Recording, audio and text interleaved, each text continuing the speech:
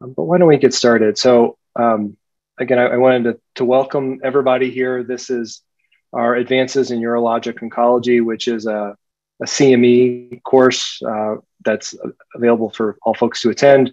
It's also part of our Grand Round series at Northwestern and, and obviously resident education. Today, we're really, really fortunate to have Dr. Joel Sheinfeld from Memorial Sloan Kettering talking about testis cancer today. I mean, Dr. Sheinfeld uh, did his medical school at the University of Florida, residency at the University of Rochester, and then fellowship at Sloan Kettering, and then stayed on and, and really has just built just an amazing testis cancer program that really has shaped how how we treat testis cancer. Right? When I was thinking back about all of our fellows and residents who attended, right? So it's you know Scott, Tom Jang, Shom, myself, Rich, Greg, all of us, I mean, he's just taken, you know, really kind of taken us under his wing as, as a special kind of care at Memorial. And, and interestingly, all of us have done testis. Um, and I think that's because of it. I mean, as I said, the, the trip, the fellowship is hard, but the trip is worth it to, to work with Dr. Sheinfeld. You, you will not see anything like that. What you see 50 some testis patients in, in a half day in clinic. I mean, it's, it's you'll you'll never have that opportunity or else. And so we're really in for a treat today. So thank you so much for giving us a, a lecture. We, we can't wait to hear from you. Well, thanks very much for the invitation and the very kind words, uh, Josh.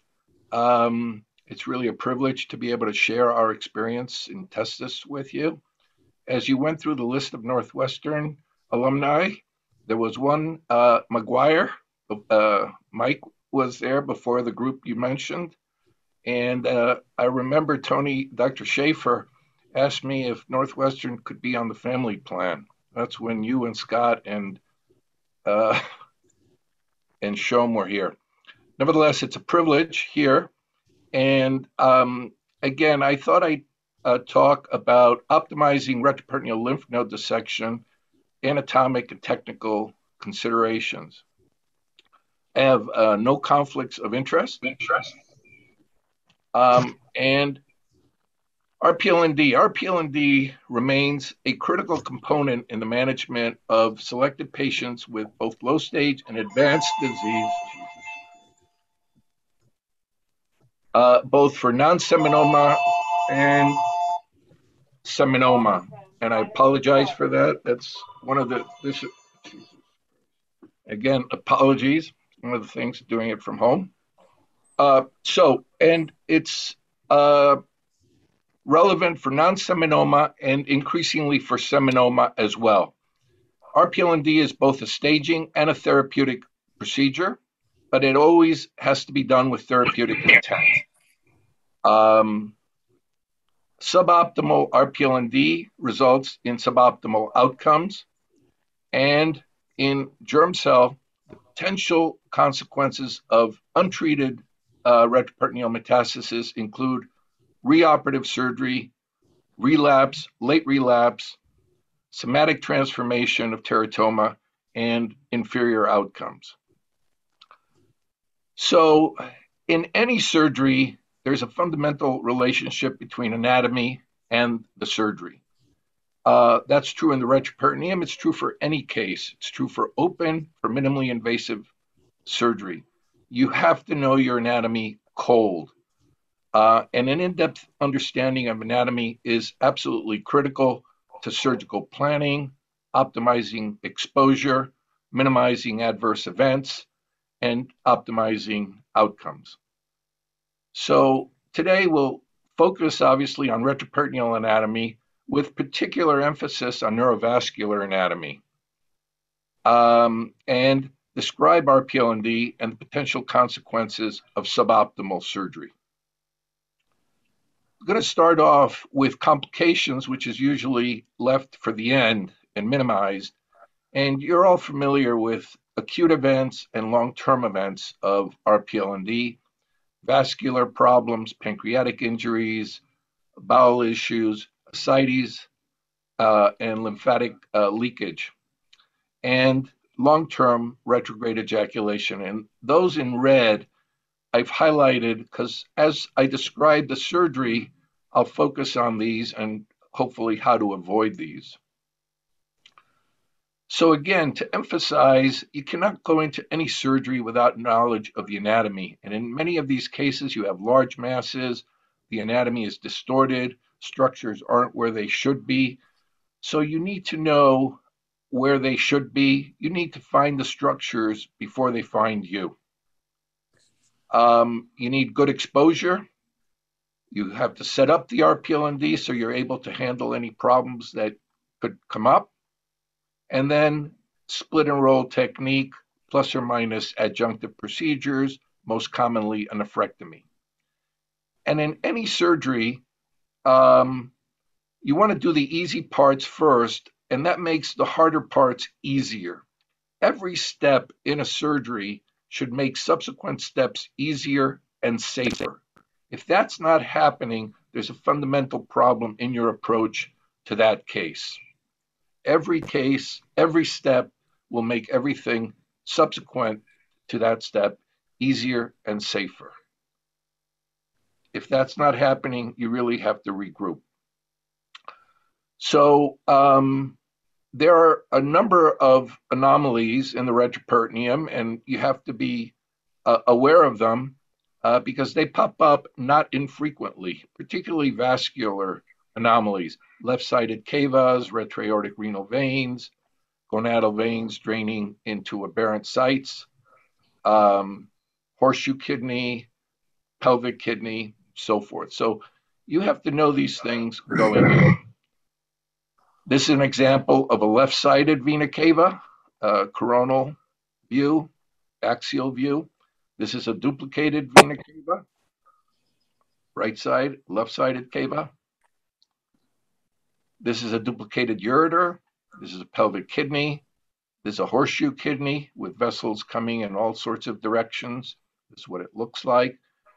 Um, now, in my opinion, the most important landmark in the retroperitoneum is the left renal vein. And this is where it normally should look like. Um, you should not be able to see the base of the SMA, the superior mesenteric artery. This is the aorta, and the left renal vein will course anterior to the aorta. Now, when you see the base of the SMA so cleanly, like you do here in the circle to, to the right, here where I have the pointer, um, that indicates that that left renal vein is somewhere else, and it's usually behind the aorta. And that changes everything. You need to be aware it can be confused with a lumbar vein um, and tied off. It also, if you're looking for the left renal vein, which is the first landmark you look for once you've eviscerated the bowel, and you're looking for it and you're dissecting in a northward direction, in a cephalic direction, going up, up, up, you'll end up barging into either the pancreas or the SMA and running into all sorts of problems. So you have to know ahead of time that that's what you're dealing with. And this is what it looks like in the axial view. This is what it looks like in a coronal view. And here you see a mass sitting right on top of it in the interaortocaval space. So um, Again, just to emphasize, these anatomic relationships are fundamental in terms of avoiding trouble. Left renal vein with the SMA taking off right above it. Circumaortic renal vein, there's an anterior limb in the normal uh, position, but then there's also a retroaortic renal uh, component. And it's okay uh, to then tie that off if it's not a, a, a dominant limb, but at least this anterior limb gives you the landmark and tells you where the SMA is, where you need to stop, where you're going to hit the head of the pancreas, and so forth. And this is what it looks like. Here's the posterior limb, here's the anterior limb, here's a dissected aorta. Multiple renal arteries, you see that about a quarter of the cases. Uh, there are multiple approaches midline is by far the most common. And again, I'm not going to get into um, minimally invasive approaches. Uh, um, have not needed to do a thoracoabdominal in more than 20 years. For bulky suprahilar masses, a chevron uh, will do the trick. So you need to expose the retroperitoneum. Exposure is good exposure is your friend to avoid uh, avoid problems or being able to fix problems. You want to divide the falciform ligament that takes uh, tension off the capsule of the liver and you don't tear the capsule. You put in your retractors. You um, place the transverse colon and omentum up on the chest. And this is what that looks like. Here's a netter graphic. Here is what it looks like. You put the transverse colon and the omentum up on wet laps. And then to approach the retroperitoneum, you want to incise the posterior parietal peritoneum. And the two key landmarks are one, you want to stay medial to the inferior mesenteric vein, um, and you want to stay lateral to the right gonadal vein.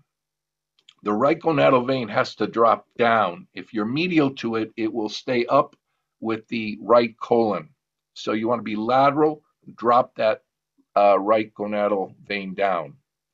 So you go down to, around the cecum and up the right gutter, Kocherize the duodenum, and then you want to protect the duodenum, pancreas, and the SMA when you place your retractors. So here's the inferior mesenteric vein, and you can sacrifice that if you have bulky disease and need to release the tail of the pancreas even more. So the incision in the posterior parietal peritoneum is just medial to the IMV. You come down to the cecum and up along the gutter. And again, as you come down here, the right gonadal vein drops down. And this is what that looks like. And here, um, here is the bowel totally eviscerated. You see your left renal vein here, the SMA here, pancreas, duodenum. And you can put it in a bowel bag. We use uh, moist uh, laps. And just a quick caution here for lengthy, complicated procedures that take hours and hours, this bowel can become very edematous and very heavy. And you want to keep checking it periodically and make sure that there's no vascular compromise, one. And two, as it gets heavier and heavier, remember, it's just hanging on the root of the mesentery, it's hanging on the SMA. And um, you don't want to see the weight of the bowel avulse that SMA. That is something you absolutely never ever want to see. So, uh, something to keep in mind. So, the bowel has been exteriorized, then you're looking for your left renal vein. And SMA is going to be up here, the pancreas is up on the chest, the duodenum is up on the chest. The IMV is here. And again, this can be sacrificed if you have bulky disease in this area. So here we are, we're starting to find the left renal vein.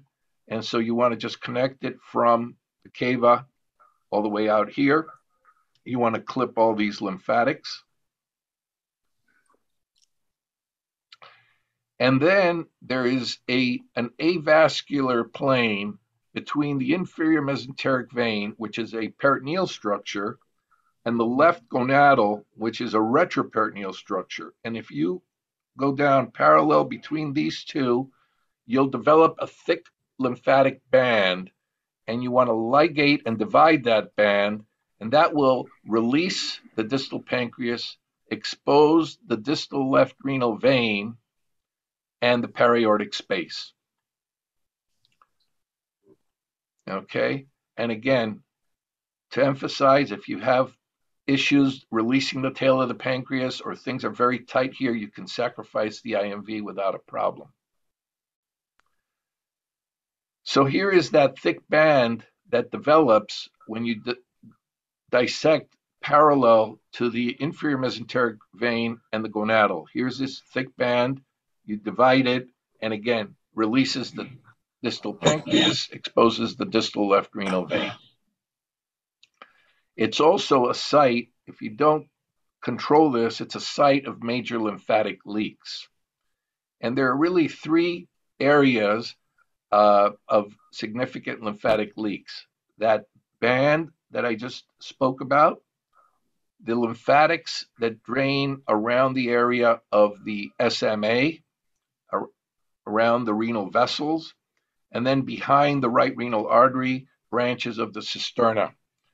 And if you have significant leaks, this is what you end up with here, uh, bottles of uh, chylous ascites. And risk factors for uh, chylous ascites, suprahilar dissections, caval resections, and hepatic resections. So again, these are areas you want to be meticulous in terms of clipping and tying off lymphatics and so forth. Then you're ready to put in your retractors. And again, you want to be very careful because uh, you want to place the retractors on either side of the SMA. You do not want to put a retractor at the base of the SMA and injure the SMA. Injuries to the SMA are usually lethal. Not always, but that's a problem you, you never want to see. And this is what it looks like. Here's the retractor on the left. On the right, the duodenum is behind there. The tail of the pancreas is behind this. And again, if you've mobilized things properly and released the the uh, the tissues, there should be no traction because if there's uh, traction, you end up with a pancreatic injury. And the SMA, again, is above the renal vein and it's between your retractors. Too much traction, and this is what you end up with a pancreatic injury, very high on the list of things you never want to see. These patients get very sick very quickly. So you've placed your retractors, you've mobilized everything, you've exteriorized the bowel, you're ready to go, and then you want to just subtract the great vessels, the vena cava and the aorta, from lymph nodes, masses, a combination thereof. And here are the lumbar vessels, lumbar arteries, lumbar veins, and you divide those, and we'll get into the lumbar, uh, the, the neurovascular anatomy in more detail in a few minutes. So you're ready to go. And I want to just stress that uh, the optimal operation, in my view, is a bilateral RPLND. And again, historically, a bilateral RPLND without nerve sparing, like this, uh, ends up with retrograde ejaculation. And the retrograde ejaculation was the impetus to modify templates to avoid the nerves on the contralateral side and thus preserve ejaculation. And so modified templates sprung all over the place, including Memorial. And here are example of a few right-sided templates. You can see uh, the surgical perimeter is highly variable. And these are a few left-sided templates, again, with variable perimeters of resection. And so this is a very commonly used uh, modified template, uh, the Weissbach template. And again, the concept is to avoid surgery in areas that are thought to be at low risk from metastatic disease.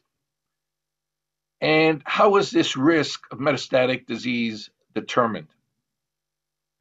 And it was based on multiple mapping studies, the best one, which was Dr. Donohue uh, back in 82, where he mapped out for right sided primaries and left sided primaries, uh, node by node, and he would put them on a, um, during the surgery, he had a template right by, uh, right by, uh, right in the room, and meticulously um, mapped out every node. Again, this is um, early 80s and late 70s. So again, many cases that were done wouldn't be done today with the kind of sophisticated imaging we have. Nevertheless, this is a superb study and laid the groundwork uh, for primary landing zones and uh, and our knowledge of common metastatic pathways. Weissbach did the same thing a few years later, Again, each dot representing uh, metastatic uh, lymph node for left-sided uh, primary tumors and down below for right-sided. And the problem with mapping studies, all mapping studies, is that they always underestimate retroperitoneal disease, always. You cannot assess the incidence of unresected retroperitoneal disease without follow-up. You don't know how many dots would appear in a month, six months, a year. And two of the studies had no follow-up and one had very limited follow-up. So that's a significant shortcoming with that approach.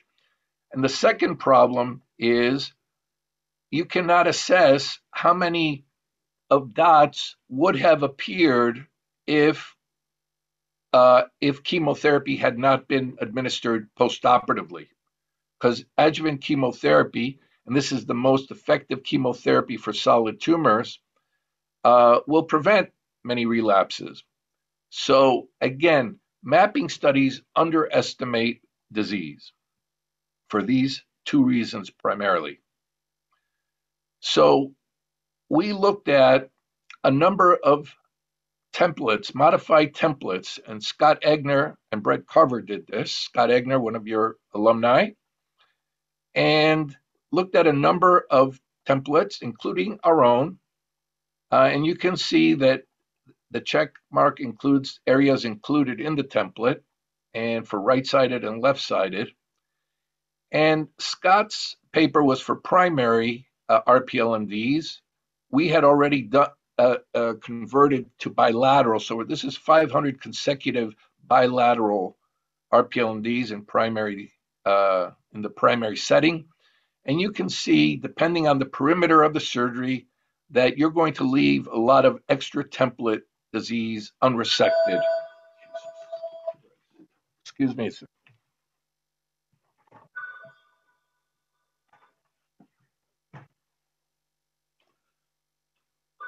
And that's highly variable, again, depending on the perimeter of the template for right-sided and left-sided, ranging anywhere from 4 to 25%. The histology of the extra template unresected disease is essentially the same as that inside the template. So this is primary node dissections, a lot of disease uh, left on the table. Same study done in the post-chemo setting, 532 RPLNDs, um, and Brett Carver, and again, Scott Eggener was involved in this study. And again, depending on the perimeter of the template, you're leaving a lot of unresected disease behind. This is Indiana data. Again, this is a reoperative series, and they identified the sites of reoperative surgery where the uh, unresected disease was, and again, outside of a template in the contralateral site for both left and right side. There tends to be more right to left crossover than left to right. So right-sided extra template is always going to be higher. This is European data. Again, same theme. A lot of unresected disease if you restrict your surgical template. Now, the studies also showed that there's a small subset of patients that have disease only on the contralateral side. The ipsilateral side is negative. All the disease is on the contralateral side. And that ranges anywhere from 3 to 5%. So the theme very clearly is there is um, disease outside of modified templates. So it's, in my view, a suboptimal approach. Um, looking at lymph node uh, counts, and this was uh, done by uh, Houston Thompson when he was a fellow before he went back to Mayo. And he was he looked at total node count and number of positive lymph nodes. And what you see is the more lymph nodes you resect, the higher the possibility, the probability of finding positive lymph nodes, i.e., the more you look, the more you find. And the data dichotomizes at about 40 lymph nodes. So if you have 40 or more lymph nodes, you essentially double the probability of finding positive nodes. Um, so again, ipsilateral disease predicts for contralateral disease. Much more so for right-sided primaries than for left side, but nevertheless, um, there is a significant subset of patients that are going to have unresected disease if you do not address the contralateral side, i.e., if you don't do a bilateral template. And if you're there, you need to get the, the biggest bang for your buck. And if you're avoiding the contralateral side, it's because radiographically there's nothing there, and it should not add a great deal of time. I mean, uh, that's not where the real morbidity is. This is data from Toronto. Rob Hamilton uh, was a fellow with us, and when he went back to uh, Toronto, uh, took over the Testis program from Mike Jewett, and he showed that increased node count is associated with decreased risk of relapse. So again, the higher the node count, the better the results in his uh, series. Node count, uh, Brett Carver looked at node count in the post chemo setting, excluding patients who had viable disease. This is looking only at teratoma and fibrosis. And you can see that the risk of uh, the relapse free probability increases as the node count goes up. That's true for small, intermediate, and large masses. The more nodes, the better patients do. Fewer relapses, better outcomes. So it all goes down the better the operation, the better the outcomes. And this is what happens here's your bilateral template and here's your modified template that doesn't address the contralateral side. It leaves it vulnerable. And it leaves it vulnerable to what? To relapses, late relapses, reoperative surgery, and inferior outcomes. And the data is pretty compelling. If you look at reoperative surgery, three out of four are going to be in the periaortic space. Um, that's true for primary node dissections. It's true for post-chemo dissections. If you're going to have retroperitoneal recurrences, the vast majority are going to be in the periaortic space. And why is that? Well, first, most uh, modified templates don't include the periaortic space, so surgeons are never there. So that's first reason. And the second reason is technically this is an area that is more demanding. It takes more work to mobilize the pancreas, expose the renal vein, dissect and skeletonize the renal vessels. So it's technically more demanding, and uh, and surgeons often uh, are a bit more reluctant to be aggressive in this area. So again, we were part of the modified club for for years, and we stopped doing modified templates end of 98. And what happened? Well, you can see the risk of relapse dropped substantially pre and post 98, 99. You can see the risk of relapse dropped way down. Now, that's multifactorial. There's better patient selection. Uh, we excluded patients with elevated markers. We do CAT scans of the chest. So you have better patients, but better surgery. And that was an independent variable. So better patients, better surgery, better surgery, better results. In the post chemo setting, same thing um, you can see that that the risk of relapse drops as the years go by. Uh, and again, there are many uh, variables here. You have better patients. Uh, there's been stage migration. The masses are a bit smaller. Uh, the treatments are a bit more effective. But the most important uh, variable was a complete node dissection. So complete no, better patients, better surgery, better results in the post-chemo setting as well as the primary setting. So how to address the issue of retrograde ejaculation? And the answer is nerve sparing techniques. You identify, dissect, preserve the nerves that are responsible for antegrade ejaculation. And that obviates the need to reduce your templates to preserve antegrade ejaculation, and it reduces the risk of understaging and undertreating the retroperitoneum. And the nerves you need to preserve are both sympathetic chains, the postganglionic sympathetic fibers, and the hypogastric plexus. And here they are in real life. And to do nerve sparing, you really have to uh, know the neurovascular anatomy so that you know where to look for these nerves and how to protect them and preserve them. Excuse me. And this is very elegant anatomic cadaveric studies done by Nick Power uh, when he returned after his fellowship to London, Ontario, with Tyler Beveridge. Uh, and they did some very, very elegant studies. And uh, let's just address lumbar vessels here.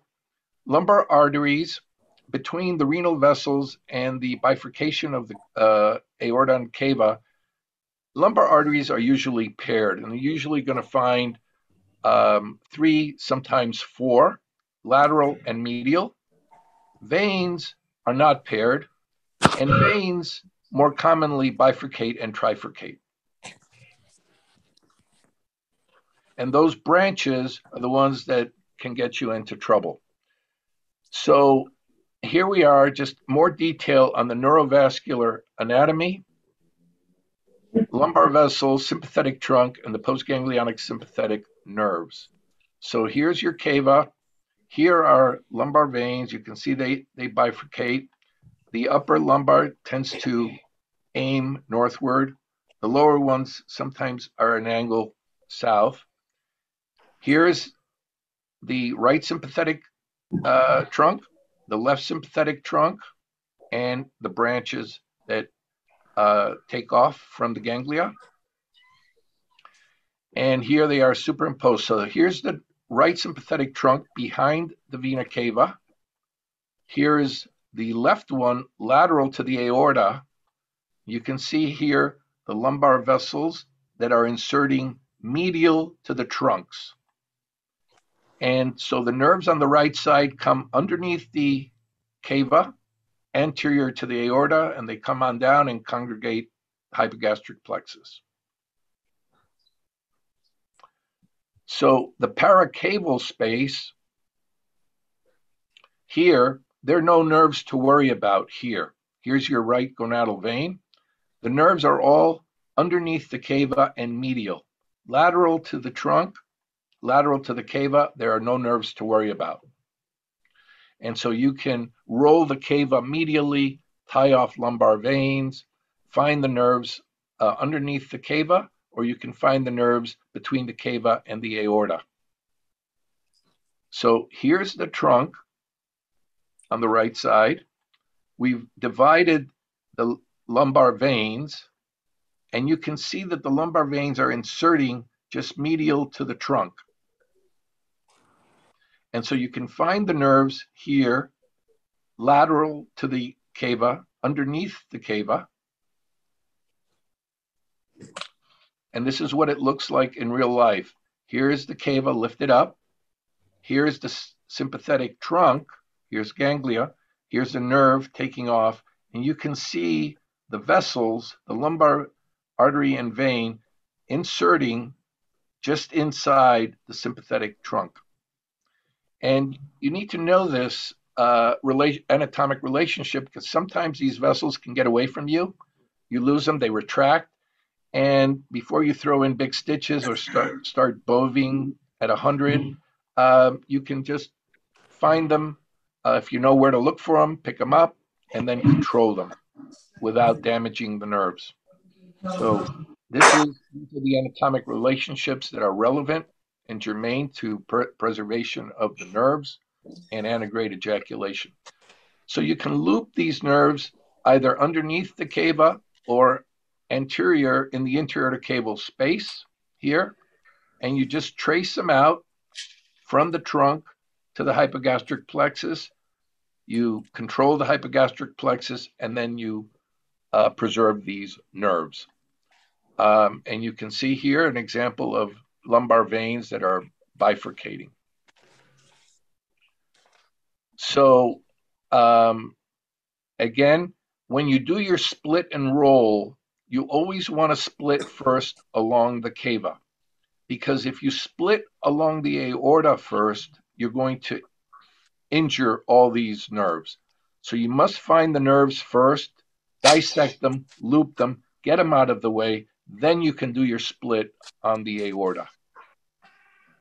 And again, just a reminder it's great to preserve the nerves, but you don't ever do that at the expense of optimal oncologic outcome. So this is what it looks like in the interaortocaval space.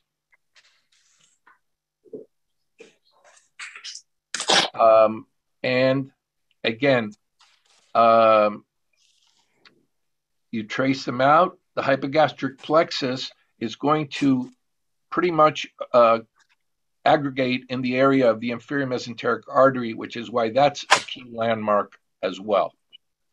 So again, you split first on the cava, isolate, preserve the nerves, and then you can split along the aorta. What about the para-aortic dissection on the left side? And you want to be very cognizant of the descending lumbar vein, which comes off the uh, left renal vein, because that's a vessel that can get you into a lot of trouble very quickly. This is the area that I showed you before that is uh, has the highest potential for infield recurrences. So here we are in the para-aortic space. Here is that descending lumbar coming off uh, the uh, left renal vein. Again, left renal vein, the SMA here, again, just to remind you over and over and here's your left gonadal. And again, just a reminder uh, about that descending lumbar vein because it's easy to uh, get into it, and then you've got uh, a lot of bleeding going on. You know, your your uh, your vision is impaired, and that's you can injure the renal artery underneath there, uh, and have all sorts of problems. So just knowing that it's there, you look for it, you find it, you control it, and that opens up that space. So here's your left sympathetic trunk, the nerves coming off. You can loop them, dissect them, and then follow them down. And again, you can see how all these nerves sort of find their way to the IMA. And this is what it looks like in real life. Here is the cava. Here is the sympath- Here's the uh, hypogastric plexus. You can see it here with these white vessel loops. So here's the cava, left renal vein, aorta, left renal artery. Here's your sympathetic trunk. Here are the lumbar arteries that have not yet been divided. And here's your anterior spinous ligament. And again, these notice how these lumbar vessels insert just inside the trunk, the sympathetic trunk. So again, it's these nerves really do exist. You have to know where to look for them, find them, take your time. It adds time to the procedure. But when you do that, you preserve ejaculation. You don't have to limit the perimeter of your surgery. And in the primary setting, you should be able to preserve antegrade ejaculation greater than 95% of the time. In the post chemo setting, uh, for small masses, uh, it's over 80, 85%. And even in larger masses, we're able to preserve it at least half the time. Now, sometimes, again, these uh, surgery requires um, adjunctive procedure. Uh, the left, uh, the kidney is the most common, a nephrectomy for obvious reasons, large masses. Um, here it was left kidney and left uh, colon. Here it was left colon, left kidney, uh, spleen, tail of pancreas. So um, complete resection is critical. Here's an example of the right kidney uh, that had to go. And again, knowledge of the anatomy to know where things ought to be uh, is critical if you're going to, you know, tackle things like this. Uh, because structures are going to be pushed around, they're not going to be where you would expect them. So you need to know how to look for them, where to look for them. So the implications of an optimal RPLND, aside from optimizing individual patient outcomes, has implications in terms of um, guidelines.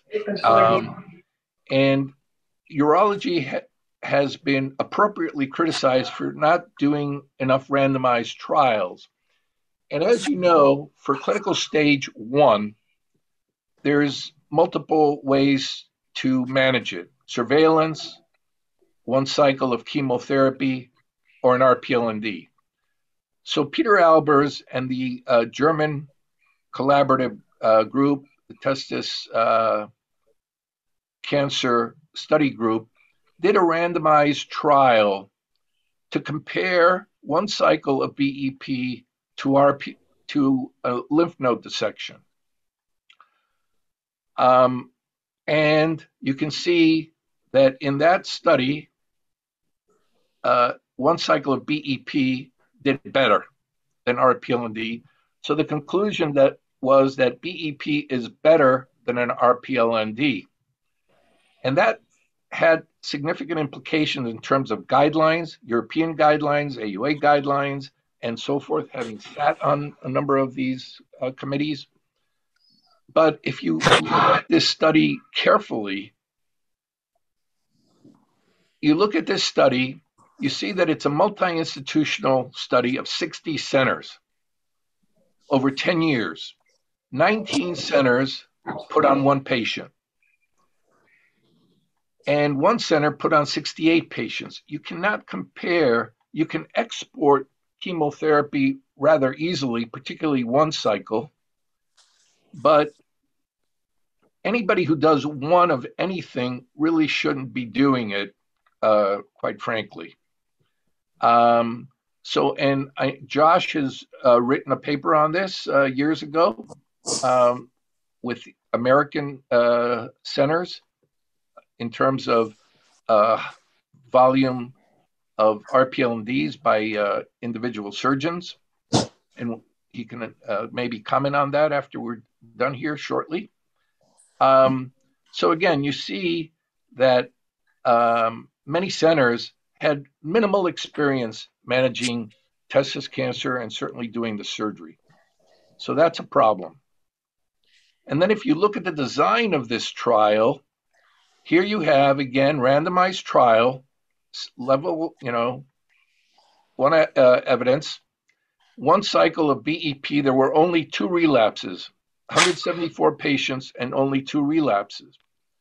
And then you look at the arm that had the ipsilateral RPLND. So everybody had a modified template. Some were very skimpy templates. And you can see there were 13 relapses, seven in the retroperitoneum and some in the scrotum. So if you exclude surgical failures, it's really four surgical failure, four systemic failures versus two. Um, and nevertheless, this study really killed RPLND in many centers, and it's uh, it's referenced in all the guidelines. And this is a very very flawed study. Again, you have inadequate surgery, inadequate surgery compared to optimal chemotherapy? What if the chemo arm was a 30% dose, you probably would have had many more relapses. So you have optimal optimal chemotherapy versus suboptimal surgery. So a problem. So it's suboptimal surgery again is a problem for individual patients. It's a problem that goes beyond that. Furthermore, if you look at the patients who had surgery and who had positive lymph nodes, those that were N positive, they get two cycles post operatively.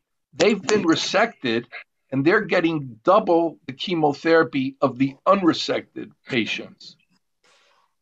So that is nonsensical, quite frankly. So Dr. Motzer and I wrote the editorial. You know, we caught a lot of grief for it. This uh, you can see many, many problems. Nevertheless, um, there's the study, and um, and these are the issues with it.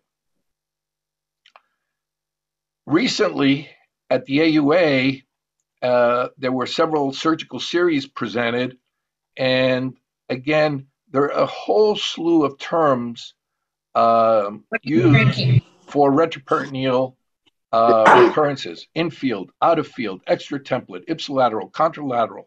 The bottom line is any relapse within this bilateral template is a surgical failure, period, full stop. Whatever term you want to use, it's a surgical failure. End of story. And this is last two, three slides. This is a patient that we took care of back in 2010, 13 years old. Very complicated uh, case, had re- received chemotherapy, very large masses, and he was operated on uh, in a community hospital. And whenever you do reoperative surgery, I teach the fellows to always look at the initial uh, op note so that you know what they've done, what they haven't done, where they've been, and so forth. And you see this note, and it says, We knew from the beginning we would not move, remove all the gross tumor. So if you know from the beginning that you're not going to accomplish uh, a full resection, then you shouldn't do it. You don't you don't get credit for doubles and triples in this uh, disease. You've got to hit it out of the park every time. Okay, so if you know you're not going to get it, then the thing to do is send it to a place that has a better shot at removing it. And this is a critical uh, thing because Dr. Donohue wrote a classic paper showing that reoperative surgery is an independent variable for a bad outcome, independent of number of chemo regimens, marker status, pathology. Just the mere fact that you have to reoperate is a bad thing.